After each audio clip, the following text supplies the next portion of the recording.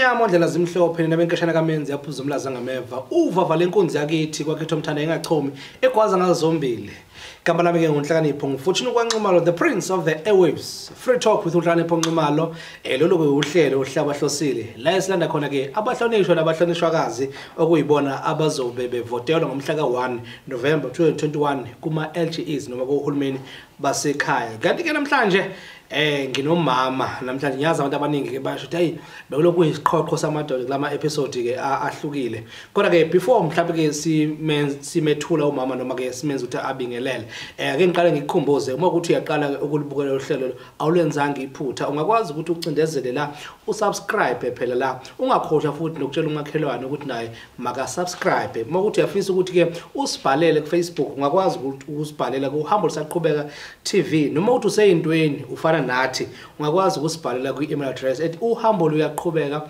at gmail.com ungakhohlwa ukusibhalela eh, ku-whatsapp or else usifonele ku-079 735 9726 ma asikubingelele bese siyakwemukela kwi-free talk la kuhambo lisaqhubeka tv ngicela ke ubingelele nababukeli emakhaya uzethule. Cha ake ngibingelele kakhulu eh mhlawumbe abafethu abakhona la eh ngebhadi ngisuke ngangabuza nokuthi obani amagama abo.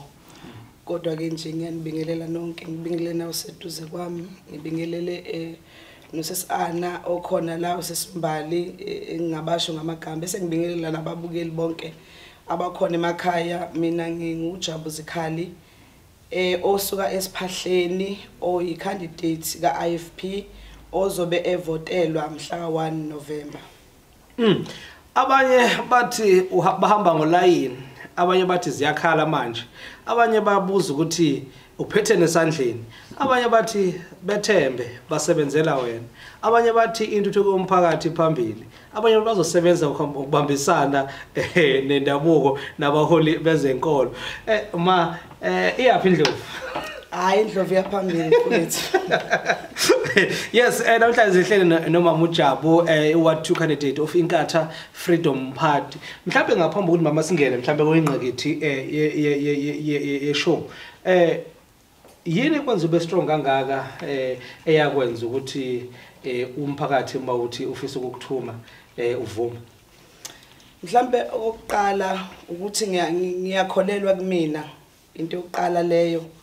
Em ya bese kuba ukuthi ngiyakholelwa nasekuthenini uma ngifunda iBhayibheli. uNkulunkulu esekudale konke kwakhona. Eh usuke wayesethi ke akuphelele umuntu besifazane mayengekho so ke into yokuqala leyo empilweni yami engiyaziyo ukuthi nawo izinto eziningi azilungi ngenxa yokuthi abantu besifazane bangabantu abasalele emuva. Ngicabanga ukuthi thina esincisha ithuba. So ngingumuntu ozikholelwayo ekwenzeni izinto. Eh mhlawumbe kwesibili okunye enginakho nginayo lento yokwazi ukuphilisana nabantu. So awukwazi ke ukusebenza emphakathini uma ungakwazi ukuphilisana nabantu. Ezike ngikhethelwe ukuba yicandidate futhi endaweni engihlala kuyona. So ngizalelwe kuyo le ndawo yasesiphahleni eh ngashadelwa kuyo nje yonke into. Ngicabanga ukuthi ngiyayazi ayikho into mhlambe edinga ukuthi ngihambe ngifuna mangabe kufanele iyenzeke noma fanele ngiyenze. So yilawo nje ngingacishe ngithi amandla enginawo nanokuthi ke ya ngifisa abantu besifazane bayibone lento ukuthi ayikho lento yobulili kahle kahle ekwenzeni izinto. Kodwa kuba ukuthi umuntu uyimisela kangakanani eh okubalekile nje ukuthi kahle kahle umuntu aqonde empilweni ukuthi yini ayifunayo. Ngicabanga ukuthi yileyo kakhulu into engisizile engenze noma sekuthiwa ngifika kule position bese ngithi hayi ngiyavumelana nomphakathi ngizostanda for a candidate mm. Ayi. Yey osopolitiki bapolitika nangeBhayibheli kodwa ke asikho lapho asikho lapho. Eh mhlawumbe just ukurecap nje ngikukhumbuze eh I think iqembu lenkatha iqembu lokuqala elathuma umuntu esifazane njengo chairperson umama uVizet kaMagwaza Msibi. May Hessel rest in peace. Eh ma ngisacela ukubuza la eh ukuthi wena as you representing inkatha eh ku ward 2 eh akhona amanye amasonto noma akhona amanye amaqembu. Eh ngizwile futhi nokuthi nangandlebe enye ukuthi khona even indephundephu elokhishi ukuthi yabadephuna yona. Angazi ke kodwa ke mhlawumbe wena uz- uzo- uzongichazela kahle njengomuntu wase2 ngifisa ukuchecka ukuthi wena uhluke ngani iluphi ushintsho wena olphethe njengamanje. Ah, ah, i'm of the view ukuthi eh emavikini ambalwa eh u-IFP president eh umhlonishwa uvele inkosi Nhlabisa wayekade ekhipha u10 commandments noma u10 points wemanifesto. Mhlambe wena eh, uhluke ngani kwamanye ama candidates Em mhlawumbe oqala engingakusho kimina noma kinina nikhona eh engehluke ngakho iskipa noma i-uniform yeqembu lami. Eh ngicabanga ukuthi alikho elinye iqembu ngaphandle ka-FP ofaka iqembu elithi Sethembe. uSethembe eyedwa nje ungamchaza ngendlela eziningi usho izinto eziningi ke mhlambe ukungena em nje cishe kungaba ukuthi ukungena kule ndaba noma ukwehluka kami ngingathi base mhlambe kuma kuma candidates akhona ka Ward 2 njoba usubalele mfowethu wathi kuno Ndephundephu eh kuno NC kuno EFF engehluke ngakho noma engiza nakho okuba okungaba yushintsho naw siyabona ukuthi siphile esikhathini esinjani. Eh simnikezile uNC bakithi eh, u10 years waphatha noma ke sasikade siphethe saphucwa. Kodwa ke okwehlukile engifuna ukusho manje as uIFP sine document esiyakhayo eh okuyona ezosigayida ekwenzeni izinto okuyona ezosilekelela emthethweni eminingi ongangukuthi noma ngabe sekuthiwa as ucandidate ugangile kodwa thina sizobe si- sisebenzela phezulu eh kom- komthetho sisekelo owakhaya ongakasebenzi njengamanje. Eh mhlambe ake ngilinganise njengoba ngithi ngehlukile. Sinenkinga yamanzi emkhanya kude akekho ongayazi leyo nto ukuthi sinenkinga yamanzi. So ke akhona namakhansela ethu ekade ehlala khona emkhanya kude. Kodwa kuyiqiniso ukuthi emphakathini osithumileyo bebangabuyi mhlambe bazosho ukuthi yingani ingqinamba yiziphi ingqinamba ababhekana nazo mangabe befika lapha? Mhlambe ngingaqala ngokuthi ke idocument esobe siphethe leyipolice kaIFP ithi uma ngabe uyi- uyikhansela eh, elikhona elizongena njengoba siya kumhla ka1 kuzofanele wenze sure izinto noma ikhalazo zomphakathi uyayihambisa phela eh kamasipala. Uma ngabe usuyihambisa siya understand ukuthi awuzuthi ufika ngenxa yokuthi vele sisuke sibaningi. Nabanye ziningi indawo abadinga usizo kubo. Kodwa ke esizoqinisekisa ngakho thina ukuthi mangabe ake ngilinganise kungenzeka nginikiwe eh kwathiwa ngoFebruary em amanzi azo azofakwa ka Ward 2 so ke kuzofanele ngilinde isikhathi. Ngiyabakhumbuza ukuze bahlale bazi ukuthi ngisekhona. Into esibona ukuthi mhlambe isishayile ile ukuthi uma ngabe kunekhalazo zomphakathi uma sifika lapha kamasipala wena uyasisha isikhalazo emveni kalapho uba quiet kuze kufike idate le ekufanele ngabe wenzelwa ngayo izinto. So ke thina njengamanje idocument ekuphezulu kwayo iyona ezosilekelela ekuthenini siyabakhumbuza. Eh sizo sizokwenza lokhu ngokubala cishe izinyanga ake ngithi uma ngibala uJanuary phakathi kwakhe phakathi kwenyanga let's say mhlambe u6 months sekuzofanele ngibuye ngibakhumbuze futhi ukuthi njalo emphakathini ngeke ngibuye nesikhalazo samanzi. Lokho kuzobe ngingakwenzi ngokulo kodwa ngizobe ngenzela ukuthi bazi ukuthi ka Ward 2 ayashoda amanzi. Kanjalo noma ngabe sekuzoshaya uDecember sengibona ukuthi nawo sengiya ku January ngizobe ngibakhumbuza. Lokho kuzokwenza ukuthi uma ngabe sekufika uJanuary uma ngenzeka sekuthiwa ngiyafighter ngizobe ngifayithela into esenesikhathi eside. Engibuka ukuthi sisalele kakhulu ngenxa yalokho yokuthi ikhalazo eh umphakathi uzishilo kodwa singakwazi thina ukubamelelela njengamakhansela asuke khona nasuke anikiwe kamasipala. Mhlambe ke enye into engabuye ngithi ngehlukile ngayo cha eh ngeke ngaqamba amanga le bible ngeke ngishiye ngoba eh nje as umongameli weqembu umntwana kaphinda ngene iyona into ahlale eyigcizelele ukuthi umuntu akasebenze ngokukanembeza. Lokho kusho ukuthini? Kusho ukuthi entweni ezenzakalayo kufanele uthi noma ngabe suwedwa as umntwana kaNkuluNkulu ke cishe ngikhohliwe lokho ukuthi mina ngumntwana kaNkuluNkulu ngisebandleni leGalili Zayoni. So ke ngenxa lokho kuzofanele ukuthi njalo mangingenza izinto ngikhumbuze ukuthi konke mina ngisebenzela abantu.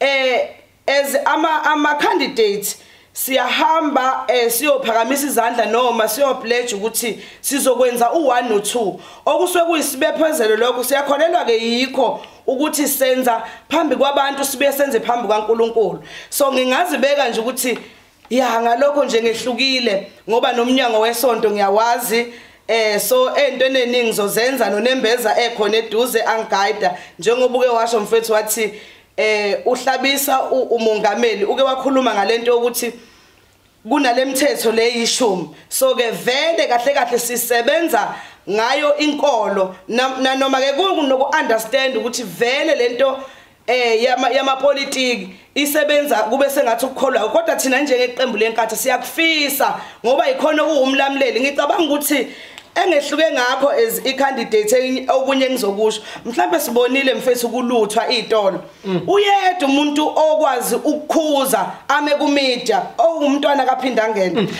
asibambe lama eh ngoba ngiyabona eh, ukuthi ke even ke nababukeli lapha emakhaya bayabhala njengamanje eh, benza ama comments embuke lapho ngasekhaya usahleli la kwi Fred Talk with Mhlonipho Nxumalo kuhamba saqhubeka TV and we are still having umama ke uJabu kwaZikhali oyi-ward candidate eh ka-ward 2 eh laphana ke weqembu i-IFP asambe siyophuza amanzi emva kwalokho eh ngiyabona ukuthi kuyashisa ngempela la e-studio.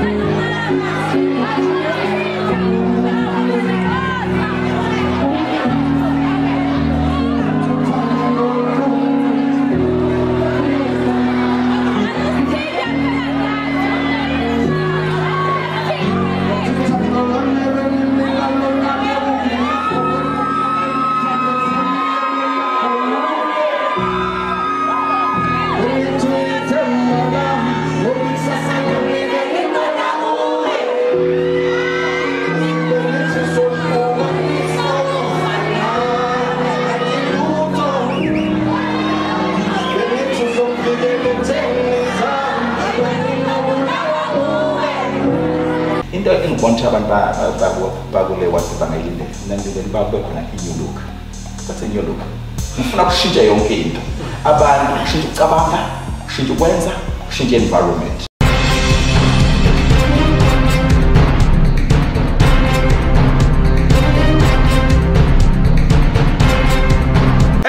osopolitiki neBhayibheli kodwa ke angifuni ukuya lapho. Eh welcome back kuhambo lisaqhubeka TV it's free talk with uhlakanipho nxumalo if you just tuned in ungakhohlwa subscribe phela la kuhamba saqhubeka TV noma ke usibhalele ku 0797359726 uma uthi useyintweni ufana nathi nawe usebenzisa email @uhambo luyaqhubeka@gmail.com noma ke usibhalele lapha na kwikhasi lethu lika Facebook uhambo lusaqhubeka TV ungakhohlwa phela ukucindezela ulike bese umema nabanye ukuthi ke nabo bezoyibonela ukuthi kuyadliwa la kuhambo lusaqhubeka TV ma eh the timing uh, si si si siya ngaseyitolo. Ubusachaza nje ukuthi ke uhluke ngani nanokuthi ke you were still telling us that as ama candidates eqembu lenkatho enkululeko esizwe eh na pledge nayibophezela ukuthi niyosebenzela umphakathi eh nanoma kumnyama kubomvu umphakathi ke mawunethembe eh mhlawumbe uqhubekela phambili nje mama ngifisa ukuchecka la.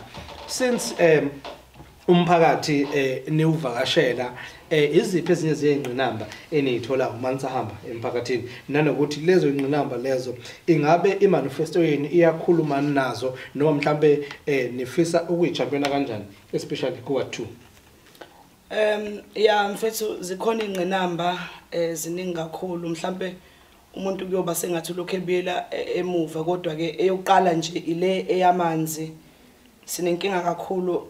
Namanzi yokungabikho kwamanzi kawa2 ke mhlambe ngizoke ngithi ukuyibala kancane bese kuba ile eyezindlu eh sinenkinga nayo impela eyezindlu. Mhlambe ke eh sekungaba ukuthi kungaba yimisebenzi abanye bahlezi emakhaya abasebenzi nanoma abanye sebefundile. So ke kuyi manifesto yethu ezi sesi- sesibophezela ukuthi mangabe eh singena as ama counselor okokuqala nje mhlambe le eyamanzi ngoba asifuni ukuqamba amanga njengoba sishilo sathi sisebenza sizosebenza ngepolicy ekhona. Okokuqala manje ngeke siqamba amanga emphakathini sithi sizokwazi ukulungisa umkhanya udodo kodwa into yokuqala esingayenza elule sibone ngathi ingaba lula while sisabhizi silungisa ngoba ukulungisa idamage eseyenze kakhulu. Ngeke uqamba amanga ukuthi kungakuthatha cishe mhlambe unyaka noma iminyaka emibili. So into esinayo ukuthi sizofaka ama borehole vele okuyinto kamanje esivele sesibafakele abantu bakithi ama borehole so lokho kuyisimo nje sokulungisa indaba yamanzi. Bese kuba ke izindlu siyazama ke siu IFP okwamanje ukubona cishe abaswele kakhulu ekuthaneni sihlanganise lokho esinakho as asinawo asinalutho esikhwameni asina budget kahle kahle. Kodwa ke siyazama ukubenzela sihlangane senze mhlambe into esamhlohlo like indlu yokuthi nje umuntu akwazi ukulala. Kodwa ke sifuna ukusho ukuthi uma ngabe umuntu efikelwa yileli thuba lokuthi siyangena siyawuthatha umasipala into yokuqala siyofisa ukulungisa amaphuthe ngokuthi sinikeze kunabantu ababethole izindlu. Kodwa ke abangaze bakhelwa baphucwa lelo lungelo lelo lokuba nezindlu ngenxa yokuthi sicabanga ukuthi aba a- o o- comrade noma abe- abekhona manje iqembu elibusayo njengamanje. Eh liyasebenzisa ukubuka ukuthi umuntu ubaluleke kangakanani noma waziwa kangakanani. So ke ibona abantu bokuqala labo esiye sibatshele noma esikhona ekukhona ku manifesto yethu ukuthi siyoqala ngalabo ababe vele sebayitholile izindlu eh siqhu- siqhubeke sibenzele. Lokho siyokwenza ngokungachemi ngoba sikholelwa ukuthi umuntu mangabe seyikhansela akakwazi ukunika abantu beqembu lakhe. Kodwa into okufana yenze yena kufanele aservice umphakathi wonkana. Em mhlambe ukuya lapha endabeni eh, yamathuba omsebenzi kuyiqiniso ukuthi uhulumeni wa- wakithi kuya ngokuya nje indaba yemisebenzi yaphela. So ke thina siyiqembu lenkatha. Into esinayo njengamanje ukuthi abantu abanamakhono noma ake senze abantu eh bazithole sebasemakhona Si- siyazi ukuthi abantu bahleze emakhaya kodwa ayi ngoba kuthiwa abantu abanawo amakhono. Inkinga abazi ukuthi fanele benze njani mabesuka manje.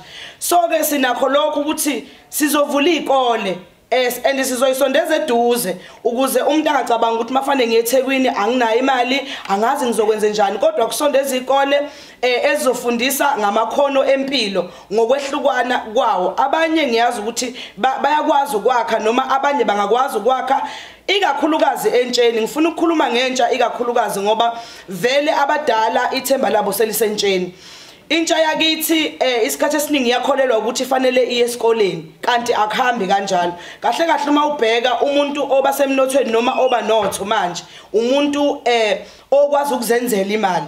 So ke sinayo lento ukuthi siyafisa ukuvula amakhono ngokwehlukana kungaba ukwakheka kwezindlu eh kungaba imisebenzi yezandla abathungayo em kungaba mhlambe imisebenzi abanye banayo lento ukuthi njengokushutha lezo zinto lezo. So ke kakhulukazi okumanje esikusebenza ngoba engikhuluma la ngifuni kube sengathi into eh mhlambe engicabangayo engikhuluma la siyazama ukuxhumana nabantu bemarket ikakhulukazi abanye ba overseas ukuhlelela ukuthi umuntu mayethiwa leli thuba asibe phela nemarket ekhona ukulungiselela ukuthi sizobaqoqa abantu abasha benze imisebenzi ngokwahlukana nabo bese bakwazi ukudayisa eduze. Lokho kuzobalekelela kakhulu ukuthi emalini abayitholayo bathola imali eningi ngoba akufani nokuthi umuntu umtshela ukuthi manje sokuhamba ephesheya angazi nokuthi phesheya kufanele afike enze njani. So yilezo zinto esizama ukulungisa ngazo. Ikakhulukazi siyayifaka nalento ye-tourism ngoba eh i-tourism iyona ebonakala inomnotho kakhulu. Sinaba vakashi la eBeach ziningi ke izinto ezenzakala la eBeach em abelungu baye bafuna ukuhamba ba- babheka imvelo. Yonke leyo nto leyo ke siyayifaka siyazama kumanje ukubenzisa ama exercise ukuthi abakwazi ukuthi umuntu akukhona ubudokotela kuphela kuyomsiza. Kodwa ke akabuke into eyi opportunity now eyenzakalayo njengoba thina sila esikhona mhlambe noma sika what 2 eh kamhlabi yalingani so ilezo zinto mhlambe umuntu athi unazo kuyi manifesta noma ziziningi kodwa nje ake ngisho lezo okwamanje mbukele lapho ngasekhaya na uyezwela. Uma ukuthi bekhona umbuzo ubukade unawo. Ngiyethemba ukuthi uyaphenduleka. Uma ukuthi awuphenduleki umbuzo wakho sidrophele phela ke i-email noma ke usibhalele la kwi-comment section. Kanjalo ke futhi ke eh nonokuthi usendele eh, it can be whatsapp or else i-message or else usifone straight 079 735 9726 sahle na ke umama ke ujabu wakwazi khali oyi-candidate le-ifp ku-ward 2 eh kwamhlabi yalingani kodwa njengamanje ake ngiphinde futhi ke ngiqenqe ukuthi ke musu kusuka musu ukusuka musu ukusuka musu ukusuka musu ku-onisa idatha umuntu bese liphela hamba ke phela leyo recharge kabusha thina sisawuphuza amanzi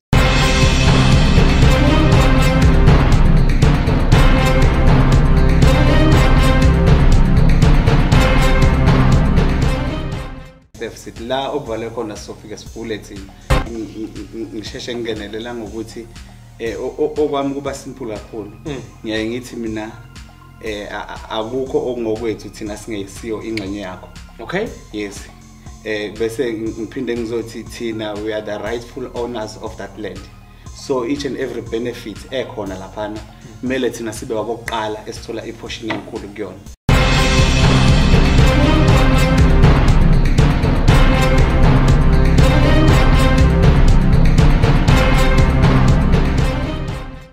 Lokhu sigijime njalo eh lokusaqala khona abantu bahamba ngolayini. Abanye bathi intuthuko yomphakathi phambili. Abanye bathi bayibophezela ukuthi bazosebenzisana nabaholi bendabuko kanye nabeze nabezenkolo. Abanye lokhu beyishilo bathi vote for change abanye ke abanye eh bathi bethembe bathi basebenzela wena. Thina siwuhambo saqhubeka sibuza ukuthi ke ingabe baphetheni esandleni. Eh welcome back. Mam eh siyazi impela ukuthi eh umuntu eh, okhathalela umphakathi eh nengicabanga ukuthi abahlali base ward 2 ngenxa ukuthi ke eh, ba- baphakamisa ikakhulukazi laba eh eh, odlela naba ogqokweni olulodwa.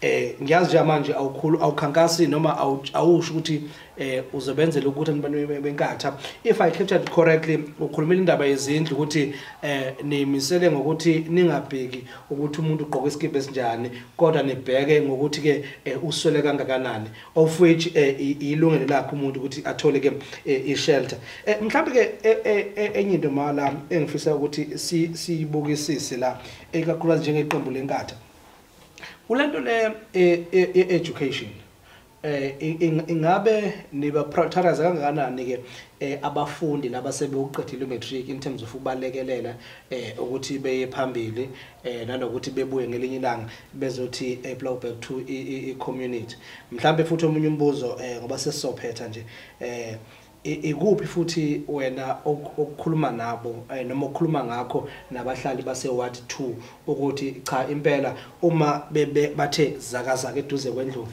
eh eduze kwegama lika Jabu eh impela izandla zabo izoba ngeyifudumele. Cha mhlambe kulokho kokufunda eh ngiyafisa ukukhuluma iqiniso ngoba iqembu engilisebenze engisebenzelayo lithi awukhuluma iqiniso. From now ayikho vele imali esinayo yokulekelela abantwana bethu noma ngithi abafundi. Kodwa ke sizama ngayo yonke indlela ukubalethela ulwazi. Ikakhulukazi em abahlali baka 2 bancisha ngisho ukuthi uapply kanjani mangabe ufuna uNSFAS NSFAS kuyaziwa wonke umuntu ukuthi akuyona imali ephuma kubani kodwa imali ephuma kuhulumeni.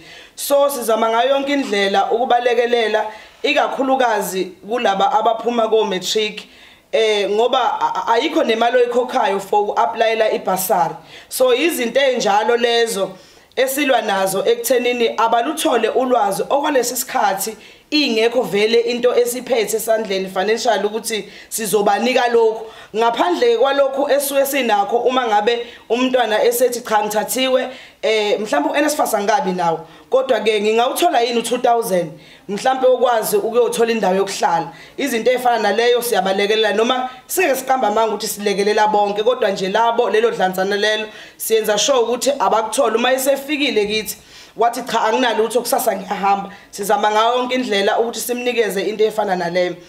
Eh mhlambe ke lokhu okokuthi abantu baka 2 yini mhlambe a- abanga engingabenzela yona noma engenza ukuthi bangethembe noma ya uma uma ngabe kufika lelalanga eh ngike ngakusho mhlonishwa ngathi okokuqala mhlambe ngizothi kuyi understanding yami noma ngizothi kuumthetho weqembu lethu lokuthi uma ngabe sisebenza ikakhulukazi njoba ngikhuluma eh mina ngohulumeni basemakhaya ngikhuluma eh ngomasipala sinayo lento ukuthi asibukeleli mangabe kufika intuthuko ukuthi ubani okufanele ayithole. Kodwa ikakhulukazi sisebenzisa lento ukuthi kufanele kangakanani ukuthi ekuthole ngokubheka isimo akusona? Mhlawumbe ke ikakhulukazi ngifuna ukukhotha na kule eh, eyama food parcel sebakhalile kakhulu abantu bakithi ngenxa ukuthi eh umuntu onotho yena abuyela athole into abuya athole into futhi. So ke mina ke ngiyaqinisekisa kubo ukuthi mangabe sengingenile nje ngaba ikhansela eh cha kuyohlala nje obala siyokwenzela eh mhlambe ngiyobiza imhlangano yomphakathi. Uma ngabe kunama food parcel kuyofanele aye emphakathini angeke ahluselwe kwazikhali la ngihlala khona. Eh futhi angeke ahluswela eh, ema officeini enkatha kodwa kuyofanele lokho ngikushiso ukuthi akhona ama ward committee. Eh futhi ke ngiyakuqinisekisa ngokuthi kuma ward committee ethu eh aka ward 2 sizokwenza ukuthi sisabalalise em ake ngilinganise ngithi sinegodi esinazo. Angikwazi siphahleni ukuthatha abantu abawu2 abawu3 ku ward committee ngoba lokho kwenza ukuthi abantu noma iward lingameleleleki. Angicabanga ukuthi bukhona ubugebengu obungenzeka mangabe kuthiwa uward 2 wonke uzobe amelelekile ngokuthatha ama ward committee. So ilokho engeke ngibathembise khona ukuthi bahlali eh baka ward 2 hambani niyovota futhi ke ngingakuqinisekisa ukuthi kusukela ekukhuleni kwami anginayo ne-criminal record. Ngi-right nje futhi ke ya izinto ey'fana nalezo. Kanti-ke phela nasesikoleni ngiye ngajika khona. Angiyena umuntu na- noma umasipala usuhlalile okungathiwa angikwazi ukubona ukuthi kubhalweni. So abanye ngicabanga ukuthi sishaywe yilokho. Ukuthi mangabe sekubhalwe ngesingisi uma sengifika laphaya akasazi umuntu uyafunda uyabuyela emuva zimeqile izinto. Enye into ebalulekile as ikhansela thina njengo-ifp ngifuna ukugcina ngalokhu. Siyakuthatha ekuthenini akukhona konke ikhansela elikwaziyo. But-ke izinto ziphuma emphakathini and-ke siyafisa ukusho ukuthi sizowulalela umphakathi ukuthi ufunani njengoba ngeke ngachaza ukuthi as ama- amakhansela e-ifp azobe ebiziwe wona okwawo uma efika lapha ukuyohambisa izinto and ukuyobuyela sibatshele abantu ukuthi okay sengisihambisile isikhalazo kodwa ke nginika isikhathi esingaka sokuthi ake ngilinde. So nani ngiyocela ukuthi eh ningibekezele lesi sikhathi sibone ukuthi siyashaya yini akwenzeki lutho. So ngicabanga ukuthi izinto ezifana nalezo okuyizethembiso ke nokho eh e- e- ezingewona amanga. Bese ngibuya ke mhlambe ngeke ngisho nalokho ngoba ikakhulukazi kuyi youth eh kunalento i- yebhola labafana. Bhola labafana liphelile eh mhlambe ngizothi emkhanya kude noma ngizothi kamhlabe iyalingana la ngihlala khona. Ngiyakholelwa ukuthi umasipala ubunazo inhlelo zokuthi kufanele badlale abantu abasha. Lokho kuyindlela yokubaqoqa yokuthi abangasabalali edakamizweni ngifisa ukusho ukuthi angiyena nomuntu oxwayile ke mhlambe endaweni efana nalezo. Ngiyakwazi nje ukuya ngoba ya ngisho noma ngabe kudlala iKaizer ngiyafika le. So ibhola into ekhona emzweni. Futhi ke ngibuye ngi- ngingeke ngakushiya ngaphandle lokucha nomkhwenyana eh vele nginaye. Bakithi uvele u- u- usabalele kakhulu kwezama sports so izi- izinto lezi engeke ngithi uma ngabe ngifika mhlawumbe emphakathini wakithi ngibatshele ukuthi hayi mphakathi eh ya kuyokwenzeka konke. Siyonenzela nje konke. Futhi ke njengoba ngishilo ngeke ke ngishiye igama lokwethembeka bakithi ngoba vele u-asset- asethembe. Ngiyafisa abantu engigqokile kube yilokho engiyikho. Engikholelwa ukuthi njengoba bengikhethile bangikhethe ngoba vele bangathi ngithembekile. So ng- ng- ngiyilawo nje amazwi enginawo. Mbukela ngenxa yesikhathi eh besakhuluma eh kuze kuse njengoba kusebusuku namhlanje. Eh mhlawumbe ke ma omunye umuntu uyabona ukuthi mhlawumbe kukhona okunye angakudinga noma kuneminye imibuzo angahle abe nayo. Mhlawumbe nje kulo 2 seconds enginawo awubatshela ukuthi abantu bengaxhuma kanjani? Em ya okwamanje mhlambe u- umuntu engangishayela enambeni yami eh, ethi 076 ithi 6027 092 ungangithola ke nje eh, 24 hours as i candidate ayivali vele phone kumanje. Eh ngibuye ngiwhatsapp ngayo futhi leyo. Ikhona enye engisebenzisayo u071 8250 ithi 178 iu-MTN ke nokho. Em ikakhulukazi a- a- a- ngiyaye ngingawusebenzisi kakhulu uFacebook as thina njengeqembu lenkatha siye siyalwe ukuthi entweni eziningi mase kuyilezi ikhathi ziningi izinto abayikhulumayo ezinye zingakwenza zikushintshe noma zikukhiphe emudini ugcina usukwazi ukuphendula abantu ngendlela e-right. Kodwa ke na ku Facebook ngiyatholakala eh ngayo futhi inamba leka 076 ungangithola ungangifacebooka kodwa nje ingakho ngithi kungenzeka mhlambe ngidelay ukubona imessage yakho. Kodwa nje okulula ukuthi ungishayele noma ungiwhatsapp kule namba engishilo uma ukuthi ke uyabethemba yenze njalo. Uma ukuthi ke uyabona ukuthi eh, it's a perfect candidate for you make sure ukuthi ke wenze njalo. Kanti ke thina ke eh, siuhamba saqhubeka sifisa ukucacisa ukuthi ke asidleli nakolodwa ugqwebo nanoma yiliphi lona iqembu nanoma umuntu uyindepundephu noma uyini cha eh simele nje. Ama views ethu amile nje ngqo. Kanti-ke mina-ke unhlakanipho ufortune okwanximalo umzukulu kansimba kamashela kushela emzini wamfana sagala somthakathi umashasha umpule. Untombeni zamaxhosa zamvalela ethuten isitongoye kwaze khantombi emswadi ethi nivalele imfane bafu nje ubusuku bonke nimenimendane unhlambana zamaweshaweshe osopolitika zengizimnamathele kuwale nje sebemrabhela screenshot ngangazi unamandla angaka kanti into ukuzamanazaretha zimshaye zamdiphuna kungixaka isandla singishaya sesabekwa phezu kwebhayibheli sakugaxa u-fourteen singilele phansi manazaretha onyazi lwezulu. Anisangizwele nanto mzasongoye And sab. Minanginji, good night.